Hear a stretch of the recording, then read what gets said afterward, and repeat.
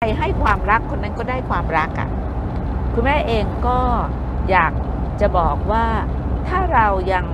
รักตัวเองไม่เป็นเนี่ยสิ่งที่เราจะต้องทำก็คือเราต้องกลับมา รู้จักตัวเองเสียก่อน รู้จักข้อด้อย แล้วก็รู้จักสิ่งที่เราจะละมัน วิธีการที่จะละไอ้สิ่งที่มันทำให้เราฉุดตัวเองเอาไว้ เราต้อง แกะไอ้โซ่ตรวน แห่งความยึดมั่นถือมั่น เพราะว่าทุกคนเนี่ยมันจะมีสภาวะธรรมที่มันมีการมา เราต้องเห็นการมาและเห็นการคลายคืน คือการมาการไปหรือการเห็นความจางคลายหรือความคลายคืนเนี่ยจะทำให้เราหยุดความยึดมั่นถือมั่น ที่จะตำหนิติดเตียนตัวเอง แต่ว่าการที่แกะโซ่ตรวนแห่งความยึดมั่นถือมั่น มันจะทำให้เราไม่หลงตัวเอง ไม่หลงอัตตาตัวตนของเรา เมื่อมันไม่หลงเนี่ย มันจะอยู่ในภาวะของการสละทิ้งสลัดคืนได้ง่าย คือมันเป็นอยู่แล้วแต่มันจะง่ายขึ้นค่ะเมื่อเวลาที่พวกเรามีโอกาสที่จะได้ใช้ชีวิตอย่างคนที่ภาวนาว่าได้รักกับตัวเองก็ให้สังเกตว่าหนึ่งเราเคารพชีวิต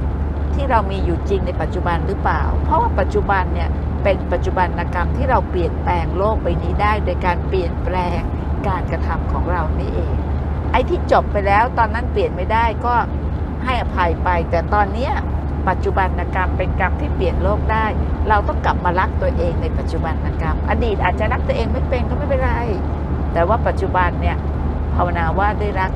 กับกายกรรมวจีกรรม มโนกรรมที่เราจะเปลี่ยนแปลง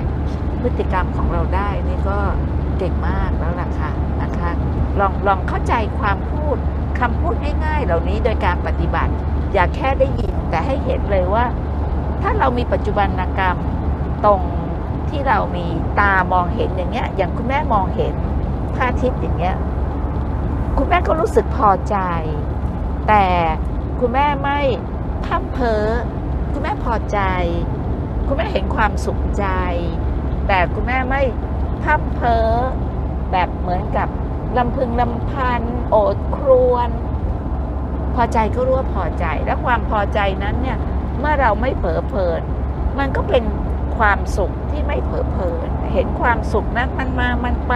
มันเกิด มันดับ ใจมันก็ยังมีความ